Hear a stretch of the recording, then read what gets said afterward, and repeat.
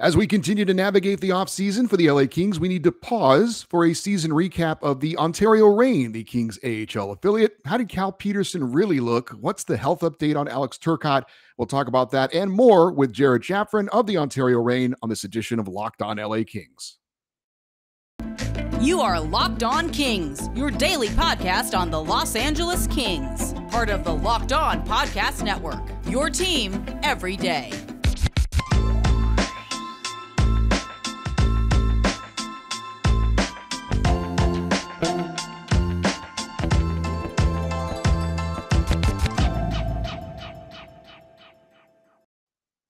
Hey, Kings fans, welcome to Locked On LA Kings, part of the Locked On Podcast Network, your team every day. Thanks for making Locked On LA Kings your first listen every day. We are free and available wherever you get your podcasts and on YouTube as well. Please like and subscribe if you're enjoying this content. I'm Eddie Garcia, your host of Locked On LA Kings. I've worked in sports media for the past 30 years, 20 plus years at the Fox Sports Radio Network, also co host of the Puck Podcast, the weekly NHL review show that's been putting out content for the past 16 years, and of course, a passionate LA Kings fan for 30 years. This episode is brought to you by Gametime. Download the Gametime app, create an account, and use the code Locked On NHL for $20 off your first purchase. We are excited to be joined once again by Jared Shafran. He is the manager of communications and content for the Ontario Reign and contributor to LA Kings Insider. And we are overdue for a check-in on the Kings AHL affiliate. Hey, Jared, how are you doing today? Doing great, Eddie. Thanks for having me. Thank you for your time. Um, I know that the season for the Ontario Reign came to an end early in the playoffs, kind of like the LA Kings. Um, but it seemed like the season was pretty up and down. Um, we checked in with you about halfway through the season, uh, but maybe you could give us a quick recap of how the season uh, went as now that it has concluded. Yeah, I think, you know, definitely up and down is a great way to put it because the team was incredibly streaky and at the end of the season, they just couldn't get out of their own way. I think they just made too many mistakes. Um, it was a younger roster, not that it hasn't been. I mean, the last couple years has been a young roster for Ontario, and I think this year definitely a little bit of a lower level ex- of experience. A lot of young guys who are in their first year pro. And while there was some definite positive things, there are individually a lot of players who are taking some some good steps and some steps to being more prepared for the NHL level as a team, uh, they didn't achieve their goals. They did make the playoffs, but they finished lower in the standings in, the sixth seed in the Pacific Division, and then lost uh, two quick games to the Colorado Eagles. Two games in the playoffs that really could have gone either way. They had the lead in both those games. The first game was an overtime loss. Uh, the second one was in regulation, but uh, definitely played both played both of them pretty well against Colorado just didn't go their way. They were on the road, and it's uh, in the American Hockey League now. They have a new playoff format, uh, just a best of three in the first round. It, it, kind of ends up becoming a best of seven as you as you move on, but you start in with a short series, and it could be good for an upset, but for the Reign in their case, uh, it wasn't good. So just a two game exit to Colorado, and now we're in the off season. I want to definitely touch on some of the players, uh, obviously, but I do want to start with um, the head coach. Uh, and there is a report that Marco Sturm is going to get a contract extension. We'll see if that comes to pass or not. Um, but I, I've always thought being an AHL coach, being a minor league coach, it's a tough spot because you you want to perform well. You've got fans that you want to entertain, and yet you're really developing players for somebody else. Uh, and if you succeed, those players leave your team. So it's always you're not always based on wins and losses. But I do want to ask you, how do you feel that Marco Sturm did in his first season as head coach of the Reign?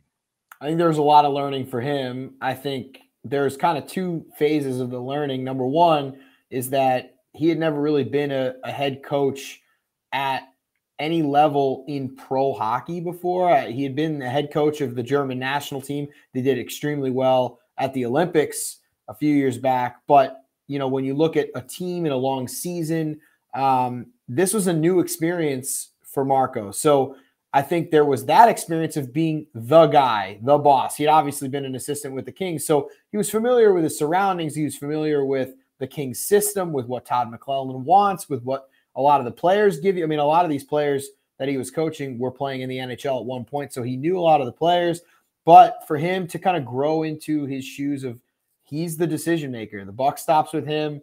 I think there was an adjustment period for that. And then also just the AHL as a league. Marco Sturm never played in the AHL. He came right into the NHL and was in the NHL for his entire professional career, then was coaching in the NHL. So there are things that are different in the AHL. You have a lot more back to backs, you have a lot more travel by bus, uh, travel by commercial flight. There's different changes to the schedule. There's players being moved up and down. There's different some different rules in certain uh, games. The games are officiated a little bit differently. I think that was a bit of a change for him. And so, you know, when you wrap that all up, it was definitely a period of learning for him. And you know, I'm not what's going on. I there those reports are out there for that he might be getting an extension. I know that Marco expressed to me that he definitely wants to return. Um, it's probably just more on if if that fit works out for for the Kings and and what you know all the contract uh, language that has to be written. But I know that he wants to come back, and I, I think we would see if he is able to to come to an agreement and come back for another season that not having all those first time things might benefit the team a lot more in, in, the wins and losses column. I think developmentally, Marco came to work every day, got on the ice, and did the best he could, and did a lot of really good things developing some of these young players. And we saw a lot of progress from some of these young guys. So that I don't think was ever a concern. But yeah, I mean, the fans in Ontario want a winning team to root for. So it was definitely not fun. And and Marco, you know, I'm sure he would say the same thing that finishing in sixth place is not what you set out to do when you start a season. So I'm sure from that aspect, he would like to get another chance and see if he can, you know, have some more success with this group.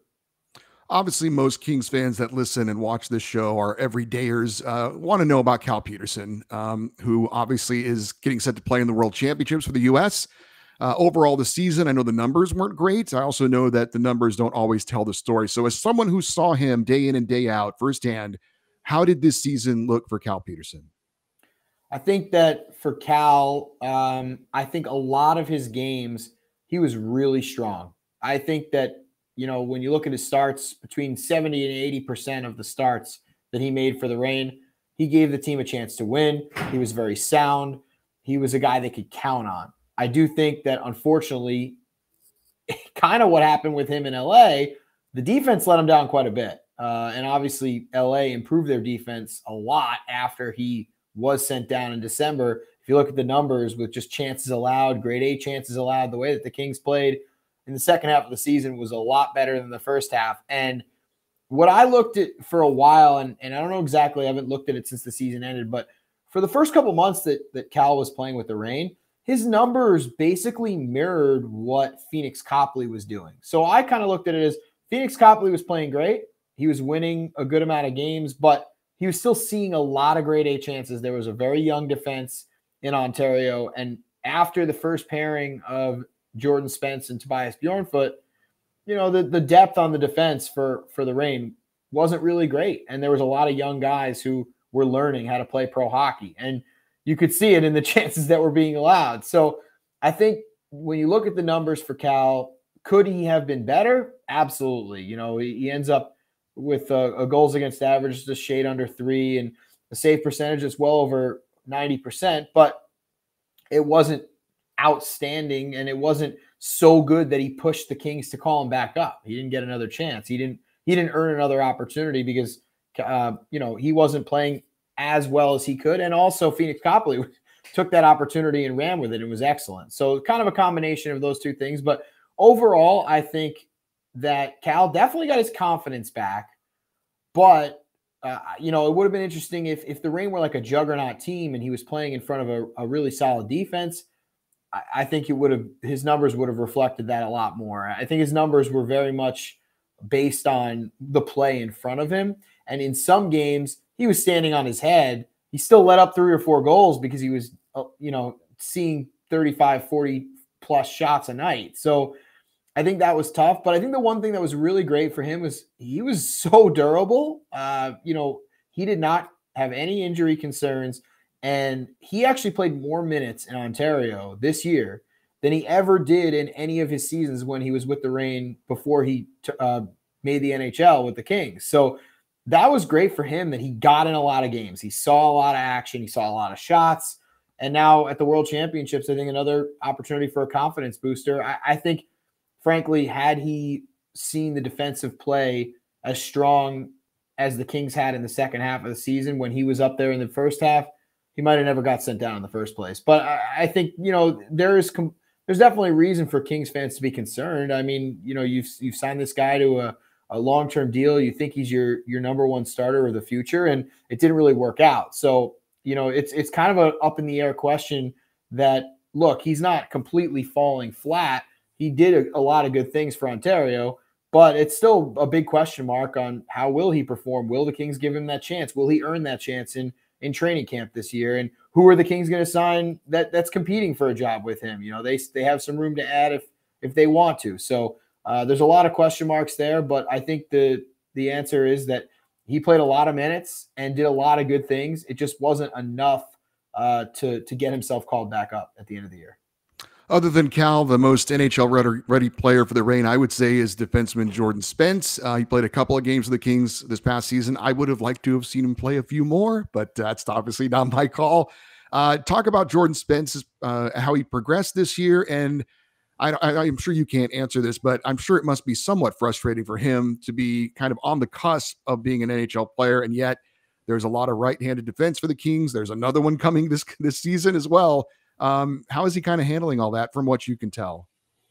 Well, Jordan Spence is uh, pretty laid back and uh, you know fun going kind of guy. Like he doesn't come to the rink and worry about that that stuff. I think he just comes and enjoys his time with his teammates. He, I think, even you know the stretches that he was called up late in the season when he wasn't playing that many games, like he's somebody who wants to play. So when he was with the Reign, he was never complaining or never in a bad mood he was just happy to play. And, and also, I mean, the Reign were playing him 25 plus minutes a night. He was out there in all situations. And in the beginning of the season, I saw a huge growth in his game. Like from October, November, December, he was outstanding. And I do think that his play dipped a little bit down the stretch. I think whether it was, you know, that he maybe, in my opinion, at some point, you can outgrow the AHL. And I don't want to call him overripe because he's still only, I think, 22 years old. So he's not uh, he's not that old, but I think he's ready for the NHL. And I think that you know in the AHL, once you're once you're at that level, you probably can get away with some things that you wouldn't get away with at the NHL level. And I think you know once the second half of the season started, I think there was a few things that Jordan would like to clean up in his game. I don't think it was a perfect performance by any stretch, but he also was playing a ton of minutes, which when he gets up in the NHL, he's been more of a third pairing defenseman for the Kings. He's not kind of he's not drawing the same matchups and he's not drawing the same type of type of minutes. So I think it would be really exciting for him to, to get some more time with the Kings. Obviously, you mentioned the there's kind of a logjam there on the right side, and you know he may end up with the Reign again. Uh, he doesn't have to go through waivers to be sent down this upcoming season. So uh, you know, that he might just kind of be a waiting game a little bit more. But I do think um, he showed a lot of a lot of promise once again. Definitely in his first season with the Reign, uh, at, when his first season as a pro, his offense was there, but I thought his defense needed some work and he needed to be more physical. And this season, his defense was way better. He his, he was much much more comfortable when he was matched up against top forwards from from the other team. And I thought his physicality really took a step forward as well. And that's what he's going to need to do as an undersized defenseman in the NHL. You're going to still have to be physical. You're going to have to hold your own. You're going to have to win net front battles. And he learned how to do that in the AHL this year, playing against some bigger, stronger players. So that was a step forward. I think, you know, definitely some there was some careless play, some turnovers that he would want to clean up down the stretch and in the playoffs. Um, and so, you know, I, I wouldn't say he's perfect by any stretch, but I would definitely think it'd be interesting to see if he could get some more time in the NHL. Would that lead to you know some of those mistakes kind of going away because you, he can't get away with with some of the things that in the NHL that he gets away with in the AHL? We'll have more with Jared Shafran in a moment. We'll ask him about another very uh, young, talented uh, Kings defensive prospect. Uh, but first, I need to remind you today's episode of Locked on LA Kings, your team every day, brought to you by Indeed. When you're drafting your fantasy team, do you ever wish you could handpick the best stars for your business team? If you're building your talent roster, you need Indeed. Indeed is the hiring platform where you can attract, interview, and hire all in one place. Don't spend hours on multiple job sites looking for candidates with the right skills when you can do it all with Indeed. Sponsor a job, and we'll match you with quality candidates whose resumes on Indeed fit your job description right when you post. Over 3 million businesses worldwide use Indeed to hire great talent fast. Indeed knows that when you're growing your own business, you have to make every dollar count. And that's why Indeed, with Indeed, you only pay for quality applications that match your must have job requirements. Visit indeed.com slash locked on to start hiring now. Go to indeed.com slash locked on, indeed.com slash locked on. Terms and conditions apply. Cost per application pricing not available for everyone. Need to hire? You need Indeed. We've got more with Jared Shafran, manager of communications and content for the Ontario Reign and contributor to LA Kings Insider. And I know a lot of uh, fans, Kings fans, are very excited about the future of defenseman Brandt Clarke. He did play a few games with the Ontario Reign last year, some people might remember. Um, and I know a lot of this is going to be based on rookie camp, training camp, preseason. But do you think he might see a little more seasoning in the AHL, or do you think his talent is so big that he's likely going to be an NHL player kind of right from the start? It's a good question. Uh, you know, we are just talking about this a bunch in, in our office earlier today. I, I think that it really almost depends on the rest of the roster because eh, right now it's too early to say. You know, you don't know what's going to happen. There's some guys that are RFAs. Um, the Kings have to fit Uh, some more players into a short amount of space on the salary cap before the season starts. So I think it's a, probably a question's better answered during training camp just because we don't know what the makeup of the roster is going to be. I think that Brandt Clarke is clearly good enough to play in the NHL. The question is just, you know, does that make sense for the Kings? They have a lot of other players, they have a lot of other options on the right side. It may make sense to have him start in the AHL and then bring him up as necessary during the season because, again, just like Jordan Spence, you're able to send Brandt Clarke down without going through waivers. You don't have to risk losing him. He is a young player. He hasn't played many pro games.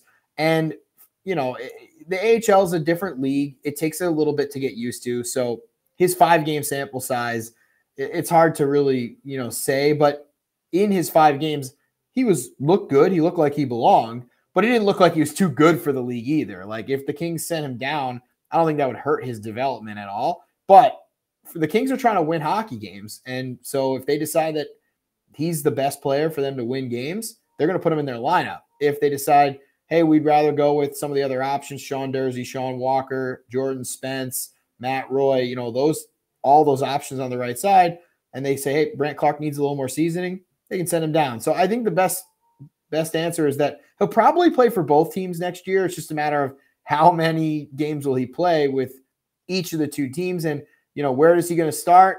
I'm not really sure, but I would say there's a better chance of him starting in Ontario than finishing in Ontario. Rob Blake, the Kings general manager, was asked in his exit interview about Alex Turcotte and what he'd like to see from him, and he had a one word answer health. I know it's been a tough go for the former Kings first round pick. Do you have an update on his health going into the offseason and maybe just talk about the season for Alex Turcotte?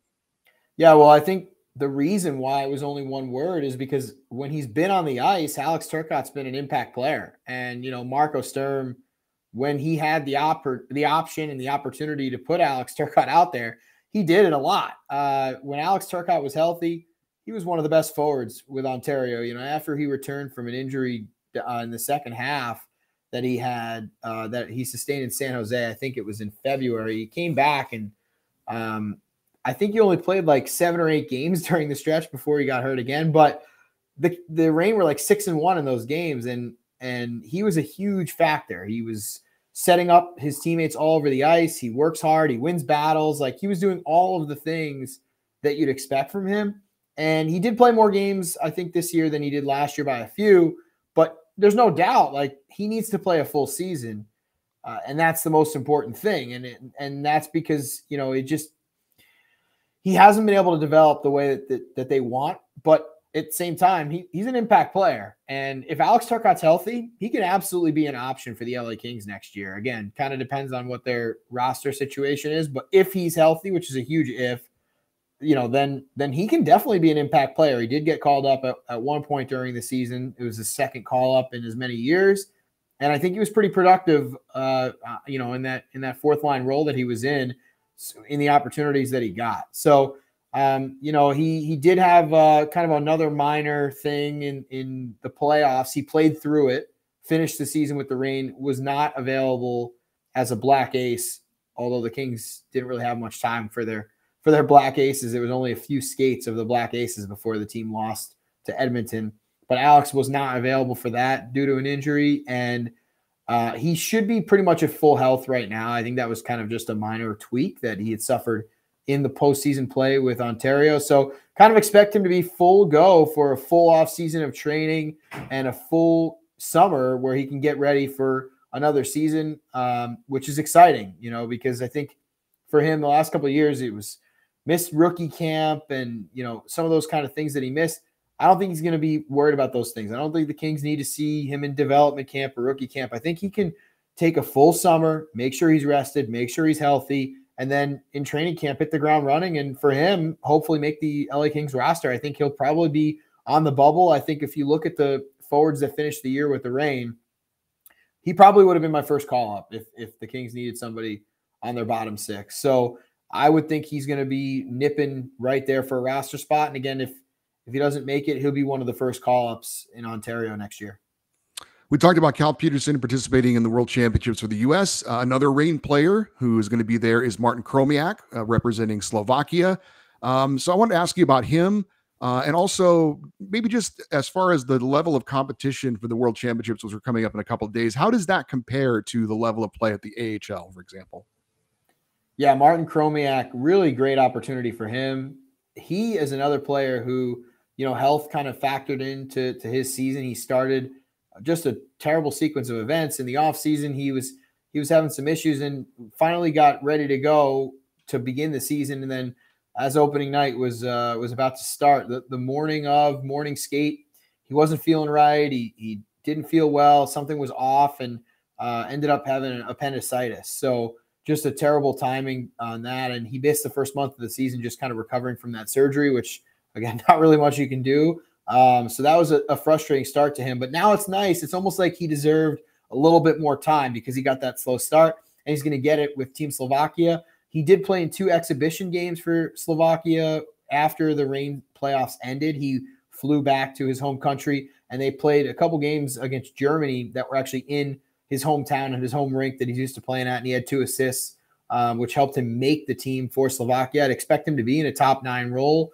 on the wing for that team. Uh, they definitely have a lot of young players who are on the you know on the rise playing for Slovakia, and they should be you know, probably a middle of the pack team in, in the world championship. So great opportunity for him to continue to play. And as far as the level of the tournament goes, you know, it definitely kind of depends on which roster you're looking at. You know, just like most of the international tournaments, the US, Canada, uh, Sweden, Finland, you know, Czech Republic, those are the, the probably the better rosters and a lot more players who have played in the NHL or in the AHL. Some of the other rosters like Kazakhstan and Latvia you're definitely going to see some some players who play professionally overseas, maybe not at the level of the NHL. Um, but I think a lot of the competition is a little bit better than the than the AHL. If you kind of look at some of these rosters, you know, you look at the U.S. Nick Bonino is uh, is going to be the number one center. He's the captain of the U.S. team. There's a lot of players on all the rosters that have played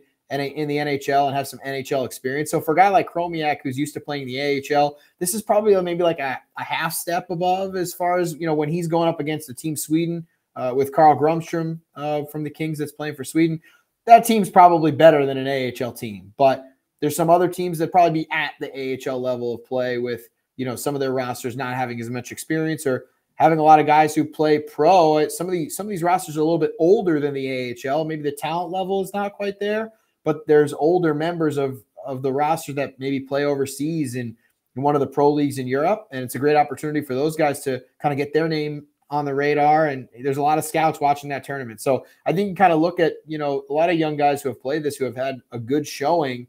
You know that's kind of a, a jumping off point. Like Trevor Moore is a great example of a player who went into this tournament, the Worlds with the USA, had a great uh, summer tournament there, played center actually, and kind of used that as a springboard into breaking out in the NHL the next year. And Cal Petersen, who's going to be there as well, uh, you know, he had a great tournament. He was named goaltender, best goaltender in the tournament a couple years ago. So those guys have have used that to kind of jumpstart a, a good NHL season. And I'm sure a guy like Chromiak's looking to do the same.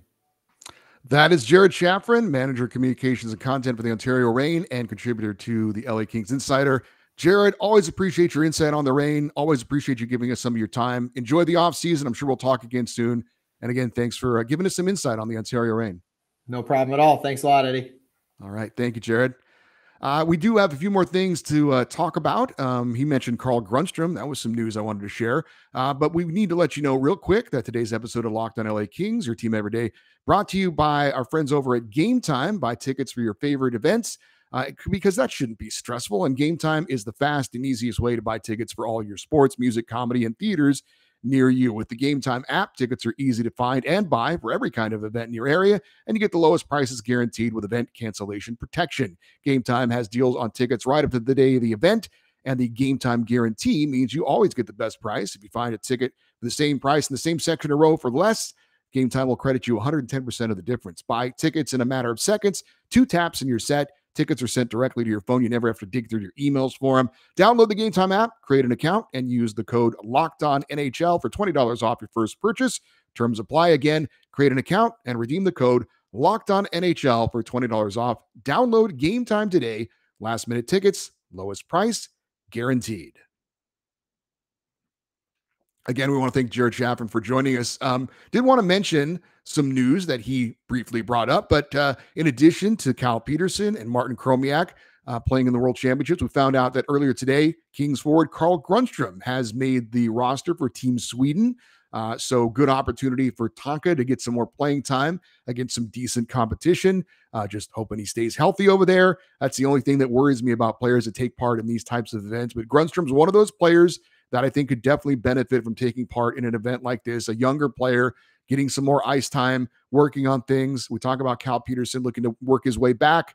Martin Chromiak as a younger player. Those types of players definitely uh, can benefit from uh, some competition at the World Championships. And so for you everydayers, we will definitely keep an eye on uh, Cal Petersen, uh, Martin Chromiak, and Carl Grundstrom and see how they do and update you on what they do in some future shows. I did have an announcement real quick before we close things out. Uh, always great to have this show available in multiple places. Obviously, we're on YouTube, Apple Podcasts, Spotify, Amazon Music, Google Podcasts, Stitcher, Overcast, and Castbox. Uh, now I'm told we're available on the Sirius XM app. So that's obviously very cool. I know that next season, if you listen to an LA Kings game on Sirius XM, you're going to hear my voice promoting this show uh, because I recorded a promo for this show. So that's very cool as well. Um, there are still some kinks to be worked out, but if you search Locked On Kings on the Sirius XM app, you will see two shows with the same name. The first one is Locked On LA Kings. The second one is some NBA team, I guess, that's in California. I don't know. No, I, I kid. I, I kid. Um, I, one of my best friends growing up lives in Sacramento and is a huge Sacramento Kings fan. He actually texted me during the playoffs. He said, I'll root for your Kings if you root for my Kings. And I said, That's a deal. Unfortunately, both our Kings exited in the first round of the playoffs. But uh, again, very cool to see that this show and all the shows on the Locked On Network now available on the Sirius XM app. Hey, coming up on Thursday's show, we're going to continue our look back and ahead uh, at the LA Kings by focusing on one of the players on the roster, and we're going to focus in on LA Kings leading goal scorer, Adrian Kempe. And on Friday, it is another Kings fan feedback show. I highly encourage you to get your questions in now. Any comments you have on anything we discussed today as well is certainly up for uh, up for grabs with Jared Shafran. Um, let's hear it. You can always leave your comments below if you're watching on YouTube as well. But if you want to send an email for the Friday fan feedback show, again, I would encourage you to do it sooner rather than later. The email address is lockedoneddie at gmail.com, E D D I E, lockedoneddie at gmail.com. Also, would encourage you to stay interactive with the show by following us on Twitter and Instagram. We're at Locked On LA Kings. Once again, thanks to Jared Shafran for joining us. Hope you guys enjoyed that. I'm Eddie Garcia. Thank you for listening and watching this episode of Locked On LA Kings, part of the Locked On Podcast Network. Have a great day. We will talk to you tomorrow. And as always, go Kings, go.